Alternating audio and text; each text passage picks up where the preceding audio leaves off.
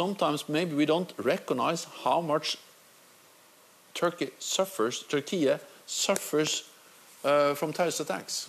No, the, the magnitude of the number of terrorist attacks they suffer is so much more than any of us. And we speak about groups which we all recognize as terrorists. PKK is not something they have invented as a terrorist group. It's agreed by Finland, Sweden, uh, EU, uh, NATO allies.